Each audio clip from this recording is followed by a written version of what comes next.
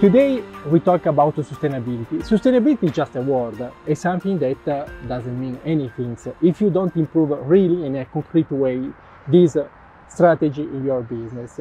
And we have a lot of mega trends today, circular economy, digital transformation, everything that could be used to reduce the waste consumption, to reduce transportation, to make a really profitable, sustainable innovation strategy in your business.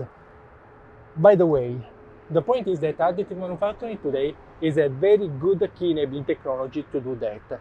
It means that you can design thinking by thinking additive.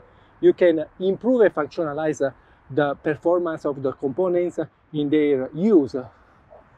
And then you can also repair some components and then you can improve the life cycle of the component, especially if they are expensive and then you can recycle.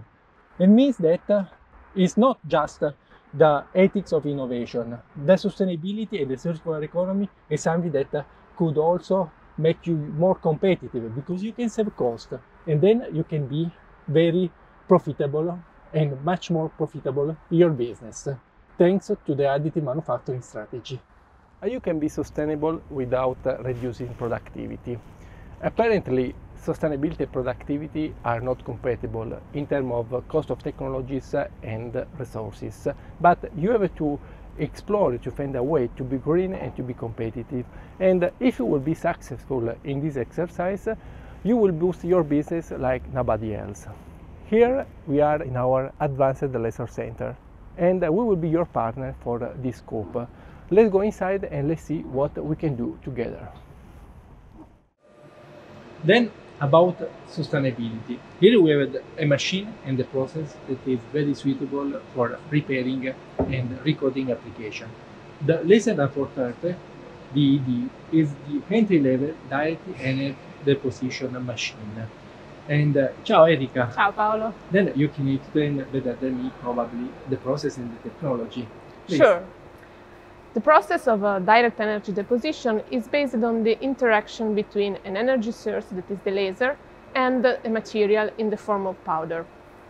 The laser melts the powder following a precise trajectory and geometry driven by a multi-axial head like the one that we can see in this machine.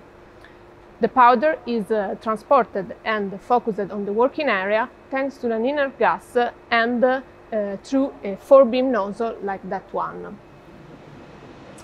So practically you can bring the powder wherever you want. Yes, exactly. Wow. This is possible. And which kind of application could you perform with this machine? Recoating and repairing of pre-existing surfaces is uh, at the moment uh, the most important application for this process, but also the functionalization of surfaces or the free-form depositions, like the one that we can see here. But we have also an example of uh, recoating and repairing of this part. So practically this is the part at the end of the process and then this is the reworked part. There is no difference yes, between Yes, exactly. You can see that there are no difference between the two parts. Amazing, really amazing. And do you already have any success story about this application? Yes, we can uh, explain about uh, Enel case. Enel is one of our partners that has installed in uh, their facility in uh, Tuscany in Santa Barbara one of our Laserdyne 795. Actually, they use the machine in order to repair some components and part of their implants of production. In this way, they have a very big reduction cost and they are inserted inside the circular economy definition.